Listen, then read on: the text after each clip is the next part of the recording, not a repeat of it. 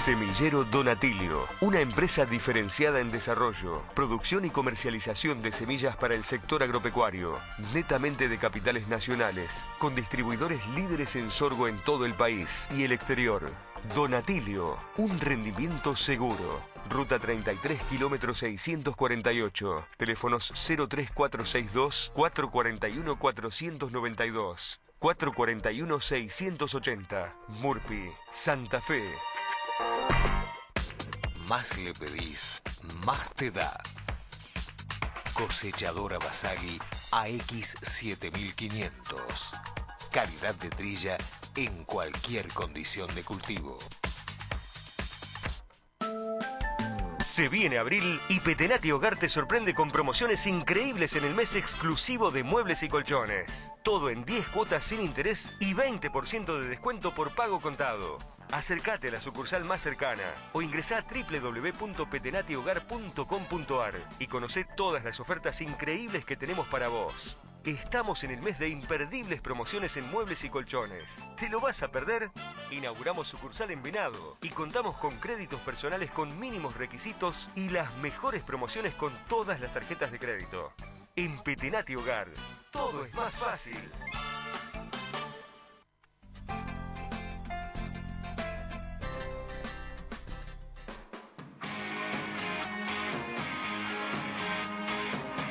Muy bien, nuevo bloque del día después, ya cumplimos con la Liga Interprovincial. Vamos a empezar a meternos de a poquito en la Liga Casilense de Fútbol. Vamos a compartir todos los goles eh, de esa liga, así que los invito a ustedes, muchachos, a compartir el show de goles de la Liga Casilense de Fútbol. Arrancamos con América y Casilda Club. El primer gol va a ser para Luca, que lo ponía arriba a América, un gol contra cero. América que llegó a semifinales el año pasado, Sí, ¿no? llegó A cuartos, a, a cuartos. Perdió con Atlético Chavas. Exacto. Eh, perdió con Y el Atlético pierde en Argentino después. Ahí está, exactamente. Bueno, el gol de Luca para el 1 a 0. Pero va a llegar a los tiros, escopeta, para poner el, El penal. de penal. Aquí el penal. Aquí, ahí atrás, ¿lo ve? Mire, fíjese el empujón.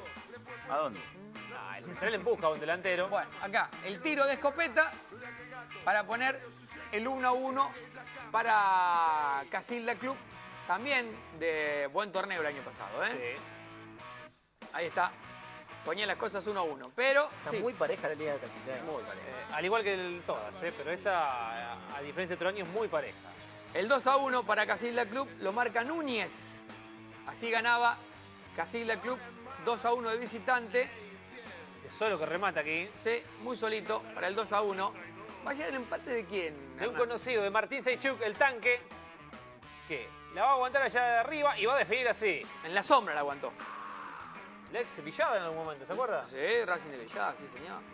El tanque que pone el 2 a 2, ¿Cuántas parcial. sombras en las canchas, muchachos? Hoy lo vamos a apreciar en cancha de Independiente. cancha Bombal. Caña Independiente. 2 a 2, va a, seguir- va a llegar el 3 a 2. Rossi va a marcar de cabeza el 3 a 2. Muy buena victoria de Casilda Club en Fuentes. Ganó entonces eh, el equipo casildense por tres goles contra dos. Vemos otra vez el gol de Rossi para el resultado final. 3 a 2 victoria de Casilda Club. Vamos a ir a Casilda si les parece bien. Una goleada de Alumni frente al equipo del Pata Bouvier. Exactamente, el primer gol del partido, Godinovich, para poner el 1 a 0 favorable Alumni. ¿Va a marcar dos, Godinovic? Dos Godinovich y va a ser uno Pisicotti. Gran Gran, jugador, jugador, sí. Pisicotti, ¿eh? Santiago Pisicotti. Aquí el gol de No Godinovich. marcó Sacripanti. Exactamente. Ahí está, el gol de ¿Cuántos de Alumni, no? En el y qué poquitos de, Que ganan mucho, ¿sí? de Argentina. Y, y aquí va a pasar lo mismo, mirá. Mira vos, de contra otra Sí, vez. otra vez de contra. Increíble, ahora Pisicotti. Ahí es Pisicotti, el rubio, que pone el 2 a 0 para Alumni. Debe ser el equipo más goleador alumni porque tiene Chabón y Godinovic tienen cuatro, Sacripanti y Pisicotti tienen tres goles. Bueno, En siete fechas. poderío de mitad de cancha hacia adelante interesante. Y va a llegar el tercero. Sí, ¿quién no va a hacer otra vez? Godino, eh, Ahora Godinovich. sí, Es, este es Huracán de Pisicotti. Chavás. Ahí el centro y la definición de cabeza. Mirá, Golazo. Golazo. de Gran memoria. pelota, ¿eh? ante un equipo que seguramente estaba adelantado en búsqueda de algún descuento. Alumni a, a los chicos que tenía el año pasado se ha reforzado. Ha reforzado Sí. esa base. Exactamente. Va por el título. Sí, eh, Quedó- el año pasado quedó muy cerquita. y está Sacripanti. El año pasado quedó muy cerquita. Ante el 9 de julio, poderoso. Este gol, Y qué resultado, ¿no? Unión Sí. Casilense le ganó a Belgrano. ¿qué hace? ¿Toca? No, remata. No llega Montechiarini Balbi. y Balbi. Mientras todos esperan el pase, aprovecha y remata y le da la victoria en la hermosa cancha que tiene Belgrano. Fíjate vos. ¿El equipo de quién? ¿De la Sole? Del Beto Pozzi. Ah, Cuarto gol de Balbi. Sole el otro. De Alan Balbi. Qué hermosa la cancha de Belgrano. Mirá lo que es. Tremenda. Vemos digo cómo vez. la piden a la derecha, ¿no? Todos están pidiendo la habilitación. El gol del Y tricolor sorprende a todos. nos resta una de las sorpresas de la fecha, la victoria de Unión Deportiva sobre Aprendices 1 a 0. El primer gol del partido lo va a marcar Navicelli, el equipo que se viste como el Deportivo Morón. Bueno, ponía las cosas 1 a 0. Tercer gol de Navicelli, Sergio Navicelli. Le pica antes el Se arquero. lo ¿eh? ayuda al terreno. a- Sí.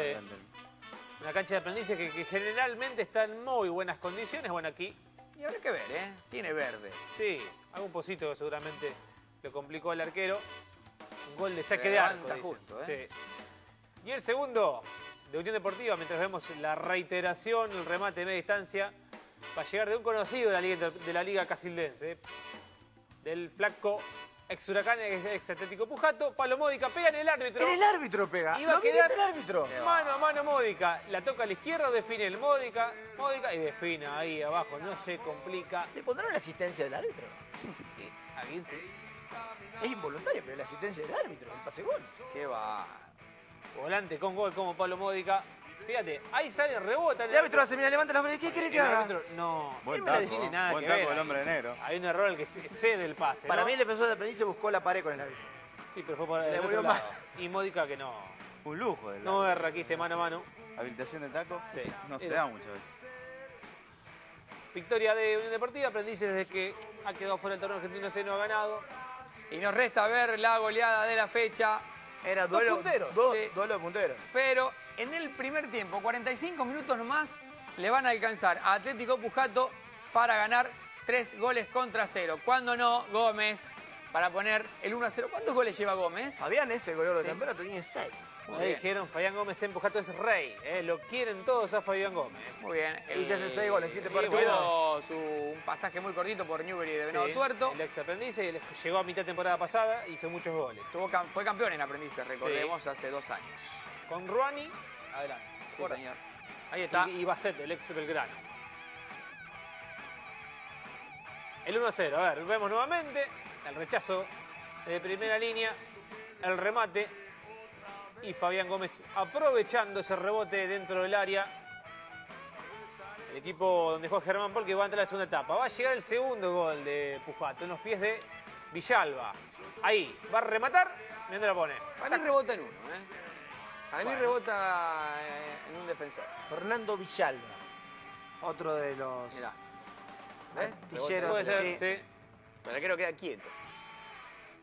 ¿2 a 0? 2 a 0 el primer tiempo, choque de punteros. Y Sí, ahí se desvía. se desvía. Nada que hacer para el arquero. ¿no? Nuevamente la miramos.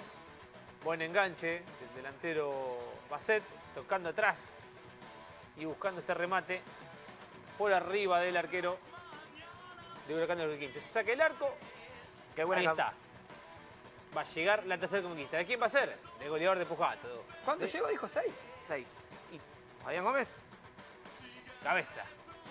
Fabián Gómez le da el 3 a 0, liquidando ya el partido en primer tiempo. Qué campaña de Atlético, siete jugados, cinco ganados, uno empatado y uno perdido. Bueno, será el año de Pujato después de tantos años. Sí, Y encima, y encima, vamos a ver con quién juega la próxima. Falta. ¿Pucato? Partido Fuimos a especial. ver muchísimas muy finales. especial. Muchas finales fuimos a ver la cancha de Atlético. Bueno, ¿cuántas veces lo van a repetir, no? Ahí está, el gol de Pujato, el gol de Fabián Gómez para la victoria de Atlético Pujato y para quedar altísimo en la tabla, ¿no? Sí, puntero. Marcar esa pequeña luz de diferencia en lo más alto. Bueno, quiero ver los números. Vamos a ver los números, eh, los resultados de una nueva fecha de la Liga Casinense, creo que fue la Octava, Ahí está, veíamos Unión Deportiva la victoria de visitante ante Aprendices 2 a 0. el León de Chavas de local empató 0 a 0 frente al último campeón 9 de julio. Matienzo le ganó Unidos 1 a 0. Veíamos hace un ratito la victoria de Casilda 3 a 2 sobre América. También victoria Unión Casildense sobre Belgrano 1 a 0. Pujato goleó a Huracán 3 a 0. Alumni 3 a 0, Argentino Libre, el Atlético Sanford. La tabla de posiciones, primero Alumni, Pujato con 16. Los escoltas son Huracán, Aprendices y Unión Casildense, todo con 13. Unión Deportiva tiene 12. Atlético Chavaz está con 11. Argentino, Belgrano y Casilda tienen 10. América y Matienzo los dos con 9. Con 8, 9 y unidos. Y cierra tabla Sanford con una sola unidad. La próxima fecha, Casilda Sanford. 9 de julio recibe a Def- Defensores Unidos. Unión Casilense América. Matienzo va a recibir a El Pujato. clásico. El clásico vuelve a Pujato. Muy bien. Matienzo Pujato. Huracán Belgrano, otro lindo partido. Unión Deportiva recibirá a uno de los punteros. Alumni. Argentino de Fuentes Atlético, Atlético Chavaz Libre, Aprendices, Casildense. Le va a venir bien, me parece, este descansito Aprendices, como para empezar otra vez de cero, Sí, ¿no? Porque había arrancado muy bien en los dos frentes. Sí. Quedó afuera de uno y parece que en el otro te- se vino la debacle, ¿no? El cansancio, puede puede jugar una mala pasada. Me imagino mucha gente en el clásico de Pujato. Sí, seguramente. Atlético puntero, No sé viene de ganar. de ¿De cuánto cuánto tiempo. tiempo? Mucho. Vamos, vamos a Yo no, re- averiguarlo. no, no, cuatro o cinco años seguro. Sí, sí, sí. Habrá que averiguar. Vamos a a meternos en la Liga Deportiva del Sur. Eh, antes de ese compacto, le digo, tengo un numerito que me acaban de pasar para una llamada telefónica que puede dar que hablar, ¿eh? No es ¿Eh? Fariña. no. No, no. Fariña Gate. No. No, Bueno. no, no. Es una llamada telefónica con alguien que está muy enojado de Bombal. De Bombal. ¿eh? Ahí- Déjeme pensar, ¿eh? Pero vamos a compartir el El compacto. Dale. Muy bien, ¿eh? lo que fue la victoria del Canario 1-0 en su casa frente a Olimpia de Santa Teresa y consecuencia de varios resultados lo favoreció al Sportivo esta victoria. Vemos la salida del equipo canario con Asimonti, Aloisio, Horacio, Balaco, Catoni, Jean Paoli Torres, Navarro, Víctor Torres, Tapita García y Fernando de Paul. ¿eh? El saludo correspondiente con Olimpia, que fue con Ciancio, Murúa, Calegani, Polaiski, Barbucia, Venecia, Balduzzi, Toso, Fran, Baba y Mogia. En los 11 de Ricardo Sluitz, arquero que, que estuvo en el, Atleti- en Sportivo Bombal hace un tiempo atrás, en el año 2004 más o menos. ¿eh? Mirá vos, no Según me dijeron, fue campeón con el equipo canario, pero no recuerdo si en ese momento el titular era Arrabal o era Luis. Ahí vemos la llegada de Sportivo Bombal, un centro pasado a la cabeza de Paul y la pelota que se va cerca del arco defendido por Ciancio. Es muy friccionado el partido en el primer tiempo, sobre todo remates de media distancia. Ahí vemos a Catoni que prueba el arco, la pelota también pasa cerquita. ¿Recuperó alguno de los lesionados que tenía? La baja importante, tanto Huanca, Bonifaz. No, no, no, eh, a Huanca lo tiene, Bonifacio estuvo en el banco, entró un ratito nada más. a- bueno, con Diego Huanca van a seguir trabajando eh, de manera diferenciada. Siboto podría estar en el banco el próximo fin de semana, lo mismo que el Colorado Esteban Gallegos. Vemos ahí a Fran, que aguanta frente a Catoni. Es muy, muy buen partido eh, por parte del número 4 de... Mire, mire esta jugada. Baba. Sí. Habilita a Fra- a perdón, Fran a Baba y viene a Simonti. Es rápido de piernas, ahí la combinación, ¿Se ahí lo vemos. eh. ¿El Guso? Sí. Exactamente, miren ahí. Baba para Fran y Fran que lo habilita muy bien. A Emiliano Baba, el ex Sporting de Vigam y a Simonti Qué que atento, Simonti. eh, rapidísimo Qué nombre arquero. importante que tiene Olimpia. Exactamente, vemos eh, la Deportivo, lo vemos a Balaco que busca el centro. El rechazo hacia afuera, otra vez Balaco. Y miren esto, ¿qué va a pasar acá? El rechazo, aparece Tapita García y golazo, ¿eh? Opa. Golazo del Sportivo Mal. Y era la manera de entrar, de romper el cero por parte de los dos arcos, ¿eh? Porque era difícil entrar dentro del área. Vimos la jugada combinada de Fran. Tremendo gol de Tapita García que se lo dedica ahí, lo vemos a Juan Aranda, que después va a participar del partido. a ver. Exactamente, de a poquito. Ahí lo... ¿Fue falta esto? La duda, ¿eh? La cortina existe, va a buscar, pero el árbitro dijo que no, ¿eh? Albornoz dijo que no. Otra situación para Sportivo, centro al área de Olimpia, el rechazo, pelota de Sergio Torres, ¿para quién? Para buscar a Navarro, Navarro que dice, meto el centro, pasadito, ¿para quién? Para Soracio, y la pelota que se va cerquita. ¿Qué tal anduvo Navarro? Bien, ¿eh? Bien, devorando por afuera, tratando de asociarse con Fernando de Paul. Muy bien los hombres de Deportivo Malo que acompañaron arriba a De Paul el caso de Sergio Denis, el árbitro. Exactamente, ¿eh? Ariel Albornoz, alias Sergio Denis, que va a ser eh, protagonista en el encuentro porque muchas, eh, muchos fallos por parte ¿Qué del pasó? árbitro no fueron aceptados por, por los jugadores de Olimpia. Vemos ahí en un centro para cortar eh, a Simonti y termina sentido y trata de terminar el primer tiempo y lo vemos, ¿eh? miren cómo se levanta. Condolencia, la tira hacia afuera, preocupado el banco de Sportivo Bombal y lo vemos ahí Aranda moviéndose. Si bien a Simonti llegó en el, en el partido hasta el segundo tiempo, después vamos a ver el ingreso de Juan Aranda. Y vemos cuando pita el Terminó árbitro los 45 los primeros minutos, 45 minutos con la victoria de Sportivo Bombal. Dígame. De Asimonti. hasta Continúa, ahí lo vemos, lo vamos a ver participando a Simonti, ahí lo vemos a Baba, recupera Sportivo, vuelve a recuperar Olimpia, no, sigue Sportivo Bombal, Va a haber una habilitación, nos saca la defensa de Olimpia. A Simonti todavía no lo vemos eh, en juego, pero que- mira a Navarro. Mete centro, cerquita, ¿eh? aparecía por allá atrás García y no pudo ser el segundo gol del Sportivo Bombal. ¿Bombal cómo le ha ido de local este año? ¿No perdió? Eh, sí, perdió con los Andes 4-2 Ah, con esa. y tuvo, ahí lo vemos, ¿eh? ahí lo vemos a, Ah, fue el único que perdió. jugador de Olimpia. que está- Sí, el que perdió fue el único. García había debutado en la Villa. García debutó acá frente a Argentinos el pasado fin de semana eh, y jugó su segundo partido consecutivo. Recordemos que está, eh, tanto Navarro está en lugar de mm, Bonifaci o- y bueno, y eh, Muchas García en lugar de Huanca. ¿no? Sí, Cuatro también la falta de. Chivoto, eh, que ingresó Víctor Torres. Ahí lo vemos a Simón, que se va. Desgarro en el aductor. ¿eh? ¿Desgarro? De Oh. 8 milímetros. Dijeron que no, que lo puede llegar a recuperar para dentro de 15 días. Lo es cierto que para este fin de semana todo a- da a entender que va a ser Aranda el arquero del Sportivo Bombal. Ahí lo vemos a Fran. ¿no? Exactamente, lo vemos a Sportivo, ahí a Fran probando, esta vez de tiro libre, la pelota se va muy lejos. Ahí ya vemos la salida de Víctor Torres, el ingreso de Leonel Bonifacio, usted que preguntaba si había recuperado algún lesionado Sí, del Sportivo Bombal. jugador importante, Bonifacio, Exactamente, ¿eh? Bonifacio jugó muy importante para el Sportivo, sobre todo para hacer la banda. Miren esta, cabezazo de Fran y aparece Aranda. ¿eh? Enorme Aranda. Tremendo, porque muchos decían, de afuera, de afuera, Sí, y el tomá. chiquitito dijo, ¿qué? Pruébenme. Acá estoy, ¿eh? muy bien la pelota que tapa el arquero del Sportivo Bombal y Olimpia probando de esta manera. ¿Usted ¿eh? sabe cuánto tiene Aranda? Usted tiene un problema con los, con los No, con la- y mi fuente me dijo 44 más o menos, no, mentira. Tendrá 25, 26. 20 y- sí, 27, 28 años debe tener Aranda, ¿eh? no es muy chiquito, digamos, de cosas. Eh, sí, sí, según mi fuente me dijo más o menos 43 y ahí Ah, saqué el porcentaje. Ahí hay posición adelantada Sí, de Ahí mm, Balaco, ¿eh? lo vemos la habilitación de Soracio, el cabezazo de Balaco, nada podía hacer Ciancio, pero el árbitro dijo ¿Balaco está jugando de lateral por izquierda? de lateral por izquierda. Para mí ¿eh? uno de los mejores de la liga. ¿eh? Exactamente, además puede hacerlo bien de Mire lo que se pierde Mojia. Con mucha llegada y con criterio. Con llega. gol aparte. ¿Qué gol erró limpia? Exactamente, para mí por definir confiado, ¿eh? con mucha experiencia, la pelota se le va lejos. Ahí lo vemos, ¿eh? los ataques deportivos. Era esto, Sportivo Bombal cortando con faltas. Y miren esto, acá el choque con Fran por parte de Torres. Torres queda sentido, aparece Soracio ahí en la trifulca. Y Román dice, ¿Y ¿qué qué pasó pasó? acá? Pará. Y ahí el que se planta es Barucia. Y miren al número 3, a Ah, Polaski. Ah, ¿eh? y ¿Qué pasó? Y también. Muró también, ¿eh? El Y no pero pasó nada, No pasó ¿eh? nada, quedó todo ahí nomás en discusiones ahí en el medio. Y después la discusión se va a armar al final del partido. Cantó un tema Sergio Ben y dijo, muchacho, no pasa nada. Sí, sí, te quiero tanto, le dijo, y, y se terminó la historia. Te quiero Ahí está, ahí está, ¿eh? Y lo, que fue, y lo que fueron, y no a cantar y no a decirle te quiero tanto, fueron los jugadores de Olimpia que no quedaron conformes con algunos fallos arbitrales y fueron los reclamos en el término del partido. Victoria importante para el Sportivo Bombal, sobre todo porque después cuando repasemos la placa vamos a ver los resultados que lo han favorecido. Pero no, no, no vimos un arbitraje que haya. No, no, lo que reclamaban los jugadores de Olimpia era eh, reiteraciones de falta, de las cuales no, no sacaron algunas tarjetas, eh, las pelotas divididas, digamos, fallos arbitrales que uno generalmente ve que, que los equipos se, se quejan por el hecho de eh, la supuesta localidad. Bueno, muy importante esta victoria para Bombal, ¿eh? Exactamente. Muy importante para el canal y el equipo de Raúl Mamino que quiere clasificar. ¿eh?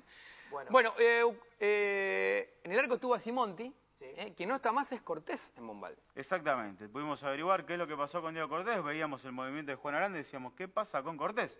Me dijeron que por decisión técnica Cortés no va a seguir en el equipo, eh, debido a que, bueno, la vuelta de Simonti, eh, dijeron decisión técnica, hay que ver, eh, lo que lo cierto es que Diego Cortés no forma más Bueno. plan- parte de, de la plantilla de Sportivo Bombal y lamentablemente hoy eh, Sportivo pierde a Simonti. Quien debe saber bien qué pasó es Cortés, ¿no? Hola Diego, ¿cómo te va? Ya lo vamos a tener. Estamos al aire con Diego. Estamos vía telefónica.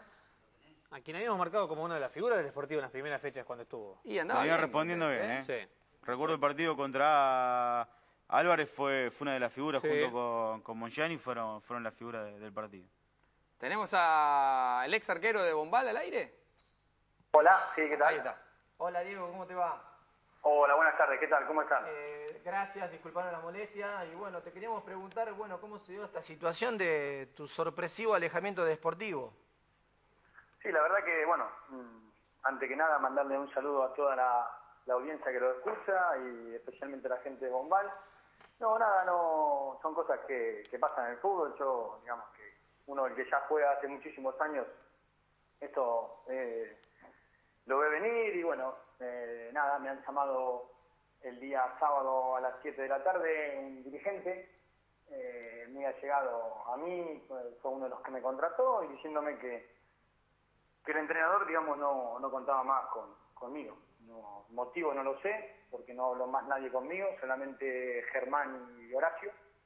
Son las dos personas que se comunicaron conmigo, a las cuales la verdad que le mando un abrazo grandísimo de acá. Y bueno, es una decisión aparentemente del entrenador, no, no sé si hay algo más, no hay. Eh, yo, tengo códigos en el fútbol y bueno, nunca me salté ninguno y, y bueno, he dejado de jugar anteriormente porque, porque digamos, estaba un poco ya cansado, digamos, de todo, de todo lo que rodea el ambiente del fútbol, digamos, ¿no? Eh, ¿Qué es lo que más te, te sorprende? Porque vos estuviste entrenando en la semana, digamos, el viernes entrenaste, te fuiste como, digamos, creyendo Sí, que el domingo ibas a estar. El domingo a las dos y media de la tarde, o sea, no. No sé cuál es el motivo, digamos. No sé si es una decisión técnica, aparentemente, digamos, el, el míster, digamos, el entrenador no, no cuenta más con, con los servicios míos, entonces, bueno, me parece que, bueno, hay maneras y maneras, y bueno, la verdad que, bueno, las cosas vienen así, hay que aceptarlas, y bueno, bienvenido. La verdad que estaba muy cómodo en Bombal, la gente me trató muy bien, eh, inclusive el último partido que he jugado, que fue cuando perdimos con los Andes, la gente, eh, por lo menos a nivel personal mío, en ningún momento me dijo nada, o sea que estoy muy contento del trato que he tenido con la gente de Bombal y ojalá estén arriba peleando, porque la verdad que hay un grupo muy lindo, son unos pibes bárbaros, y bueno, les deseo lo mejor de- de acá. Eh, con la llegada de Simonti, digamos, eh, parecía que el titular iba a ser él. Eh, vos estabas, digamos, tenías algún inconveniente en el banco de suplentes. No, a mí, digamos, a mí en ningún momento nadie me dijo eh, que Asimonti iba a ser titular o que yo iba en lugar de Asimonti. A mí el club me contrató porque no iba a esperar a, digamos, a Sebastián por siete fechas, por eso me ha contratado a mí, pero después parece ser que no, no, no gustó, digamos, al entrenador los servicios o no sé qué, cuál es el motivo, digamos, ¿me entendés? No, no quiero, no quiero decir nada que no, que no, no sé, ¿me entiendes? Estamos hablando con Cortés, el ex arquero del Sportivo Bombal. Y la llegada de Díaz Simonti, ¿cómo te tomó a vos, digamos? ¿Te tomó por sorpresa? Eh, ¿Te A mí molestó? después de perder con, con Álvarez en casa 1-2, que ustedes estaban hablando recién de, de, de mi actuación, que por suerte le, le agradezco las palabras que han tenido, eh, el entrenador dijo que iba a traer a, a Sebastián porque no teníamos arquero, no teníamos arquero suplente, porque Pepino estaba lesionado, otro chico que estaba ahí también, y bueno, entonces eh, también he jugado tres partidos lesionados por el aductor, lo he hecho porque mm, me ha caído muy bien la gente, porque soy un profesional, si no, no, a lo mejor en otros tiempos no lo hacía, porque la verdad que, por ejemplo, el partido contra Vigán no, no me podía ni mover en la cancha, el que lo vio se dio cuenta, y no le pegaba ni al balón, le pegaba solamente con la izquierda, y bueno, pero bueno, son cosas que, que pasan, la verdad que no, con Sebastián está todo bien, no tengo ningún problema, la- me parece un pibe bárbaro la, la semana que estuve con él, y, y bueno, le deseo lo, lo mejor, digamos. Diego, ¿cómo sigue tu carrera? ¿Te podés incorporar a otro club? ¿Cómo es a, a nivel reglamento? No, mira, ¿Tenés- yo te comento un poquito, Sí. yo digamos, eh, porque a lo mejor la gente no, no sabe un poco, eh, yo había dejado de jugar hace un, tiempo, eh, porque me dedicaba a coordinar eh, una escuela de fútbol que tenía en España, de arqueros y una escuela de, de fútbol, digamos, y bueno, ese era mi, mi trabajo y jugaba, digamos, a nivel regional, digamos, ¿no? Ya no a nivel profesional, entonces me dedicaba a eso. Y esperemos que, que haya un club para jugar. Antes de ir a Bombal he tenido varias ofertas de acá de la liga y del argentino, pero bueno, ya un poco me quería instalar aquí, digamos, por acá, por la zona, por- más que nada por la familia y por, porque los años pasan y no, estoy un poco más desligado, un poco por todas las cosas que están pasando. pues, en el fútbol no, me han pasado diferentes cosas de cuando estaba en Colón, entonces no. Como que me, me, me he cansado un poco, digamos, del ambiente, ¿eh? no de los compañeros, de la gente, no, no, del ambiente que, que rodea el fútbol. Diego, ¿cómo, ¿cómo tomó el grupo esta noticia? Si vos dijiste, a mí me sorprendió, te llamaron el sábado por la tarde, eh, ¿tuviste contacto con tus ex compañeros? ¿Cómo lo tomaron Sí. ellos? Sí, sí, tuve contacto, bueno, hay un contacto que es un amigo mío, y bueno, la verdad que lo, se sorprendió porque lo llamé, a mí me llamaron a las 7 y lo llamé a las 7 y media, y bueno, lo demás, él se enteró por mí y los demás se enteraron por, digamos, cuando llegaron al vestuario y el entrenador le, le comentó la, la decisión, algunos y otros se enteraron ahí mismo, digamos, no sabían absolutamente nada. De hecho, anoche hablé con uno, con un chico, un compañero ya veterano de ahí del pueblo y, me dijo que no entendía la situación, me dijo si había tenido algún problema, algo, y que yo sepa, pregúntenle a los dirigentes, a quien sea, mis compañeros, no tenía ningún problema con nada, al contrario, ya te digo, estaba muy bien, muy cómodo en Bombal, porque, porque sí, digamos, no había lo que, lo que requiere, digamos, un club como ese de Bombal, digamos. Sí, a nosotros acá, Diego, bueno, vos también lo has leído el, el- comentario que hay mm, vía Facebook de un compañero tuyo, dice, cuando, yo voy a hacer textual lo que duras declaraciones, dice, cuando hace poco comenté que en el fútbol no deja de sorprenderme, lo sigue haciendo. Es más o menos lo que, lo que decís vos. No entiendo las decisiones de gente que está al frente de un grupo para pelear un campeonato y se ocupa de desarmar ese grupo. Desde hoy Diego no va a estar más con nosotros. Un placer haberte conocido, gran persona y mejor arquero. Firma Fernando de Paul. Sí, sí. Sí, ese es mi amigo. Ese es tu amigo. Eh, ¿Te gustaría hablar o- o con Raúl Mamino, con el técnico de Bombal, para preguntarle el por qué? No, mira, yo eh, estoy en mi casa, los teléfonos están abiertos, yo, digamos, yo no le voy a, a pedir explicación a nadie, pero bueno, a veces es lindo que te digan las cosas porque son o algo por el estilo, pero bueno, ya está, ya pasó, ya la decisión está tomada, eh, yo quedé en hablar con los dirigentes de Bombal, eh, o esta noche o mañana cuando podían Germán y Horacio, iban a hablar conmigo y, y bueno, por lo menos para, para despedirnos de la mejor manera con la gente de digamos, nada más. ¿Te enteraste que se lesionó Sebastián? Eh, sí, me lo contó Fernando. Eh, bueno, hablé con Sebastián también porque iban en el auto los dos. Eh, se desgarró. Así que, ¿te llamarán? No, mira, yo tengo... Esos son los códigos que tengo del fútbol. ¿Entendés lo que te quiero decir? Sí. Por ahí pasa un poco el tema. ¿Entendés? A lo mejor otra persona va, yo no. No porque tenga nada con nadie, ¿eh? ni, no mucho menos. ¿eh? Yo soy, jugador de, de, de Bombal porque no me dieron el pase, pero eh, eso no tengo ningún problema en que me lo van a dar, porque confío plenamente en la gente, aparte, gente espectacular. Pero creo que tengo código yo en el fútbol, digamos, y casualmente Fernando me lo comentó otro día. ¿Algo Los más? códigos son estos, digamos, si una decisión está tomada, está tomada, o sea, no, no hay vuelta atrás, ¿me entendés lo que te quiero decir? A Sí, lo mejor sí, estoy equivocado, ¿eh? Pero Sí, bueno, sí, sí, te entendemos. Eh, realmente te queremos agradecer. Ojalá sigas atajando, ¿eh? ojalá eh, consigas un club y lo sigas haciendo y si no enseñando, como, te- como te- seguramente te gusta y mucho, ¿no? Sí, enseñar, sí. También entreno a los arqueros aquí del seleccionado de la Liga de Casilda. Eh, estamos haciendo un buen trabajo, ahora empiezan los torneos y eso, y la verdad que muy contento.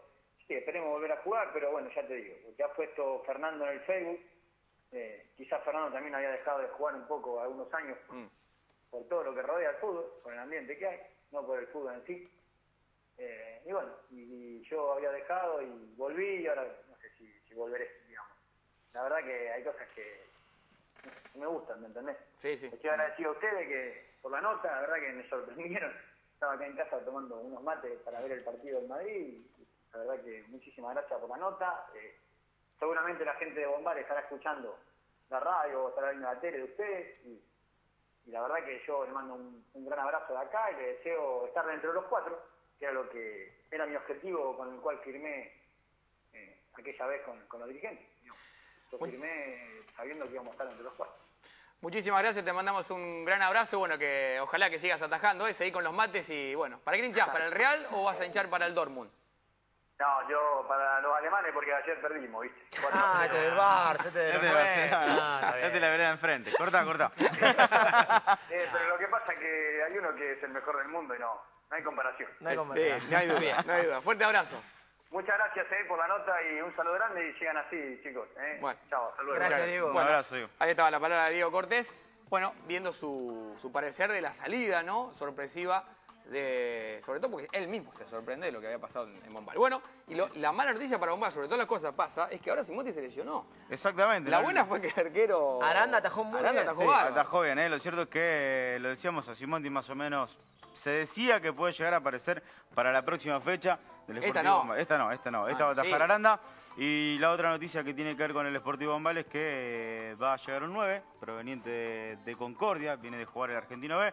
El hombre es santiagueño, se llama Mielich y va a estar por dos meses en el Sportivo Bombal. Viene, Ha jugado en Argentino de Fuentes, me dicen. Ah, me suena Mielich, sí. eh, me suena. Eh, Viene por la lesión de un jugador, porque Viene por la lesión de Franco Udasi, creo hay uno, sí, operación de rodilla. Muy bien. Está bien. Entonces va, va a estar, eh, bueno, pero va a participar por dos meses nomás en el Sportivo Bombal debido a que hay un receso en el Argentino B y es por eso que viene para no perder ritmo. Canario es uno de los equipos que va a estar entre los ocho. ¿eh? Yo siempre lo vengo tirando entre los va a candidatos. estar entre sí. los ocho. No sé si eh, esta rueda la otra, pero que va a estar, Sí. va a estar.